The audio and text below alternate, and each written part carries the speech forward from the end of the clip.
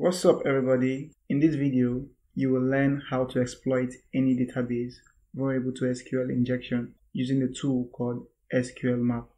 I upload really cool ethical hacking videos on this channel, so if you're new to this channel, don't forget to hit the subscribe button and the notification bell button to get notified anytime I upload a new video.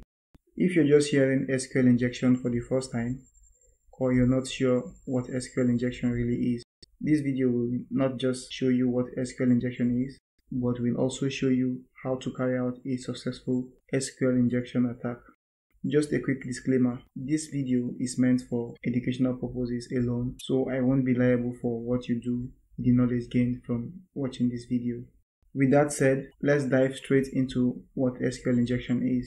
SQL injection is a code injection technique used to attack data-driven applications. SQL injection allows an attacker to manipulate the SQL queries that an application sends to a database, allowing the attacker to have unauthorized access to information or data such as private customer details, sensitive company data, usernames, emails, passwords, medical records, etc.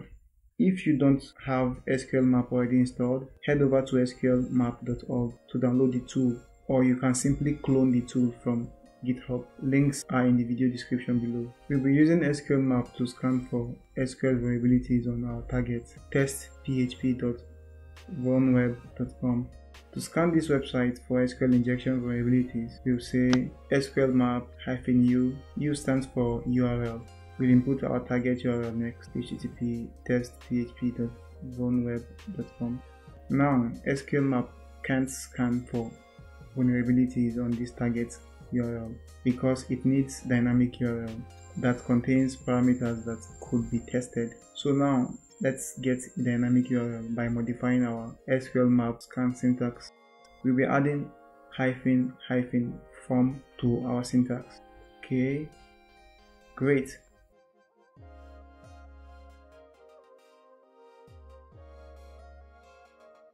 We now have a dynamic URL we can now scan for SQL injection vulnerabilities.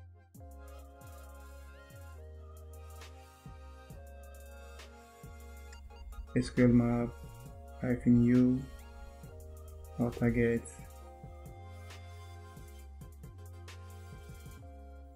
hyphen hyphen batch.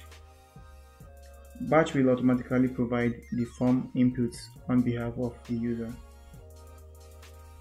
Cool we now know that the backend database management system is MySQL. The web server operating system is Linux Ubuntu. The site runs PHP 5.6.40 and Nginx 1.19.0. Let's enumerate the database using the following commands sql map u or target URL hyphen hyphen dbs hyphen hyphen thread equals 3. dbs enumerates the database while the thread option allows the user to define the number of concurrent requests to be sent by the SQL map tool. The thread option is very helpful as it tends to reduce the overall testing time, but it should not be kept to a higher value as it may affect the accuracy of the scan results. Okay, so we've got AQuat database, information schema database. Let's extract the tables for database AQuat using the following commands sql map hyphen u target url hyphen d AQuat yeah, this stands for database then hyphen hyphen tables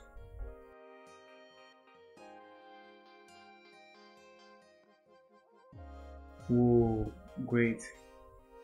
Let's take a look at what's in the users table.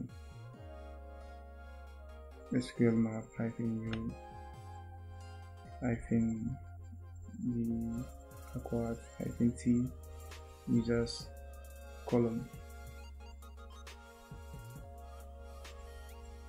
Next, we will dump the data in the users table. SQL map hyphen u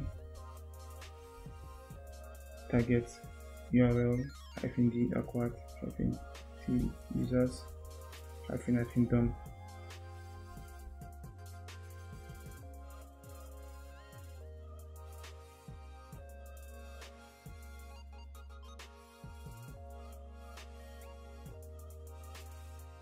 we can now see the username, email, password, name, phone number in the users column. If you got questions, feel free to ask down the comment section. Hope you found this video helpful. If yes, don't forget to hit the like button and also share with others. You can follow me on Twitter and on Instagram at bsteph underscore. Thanks for watching. Hoping to see you in my next video.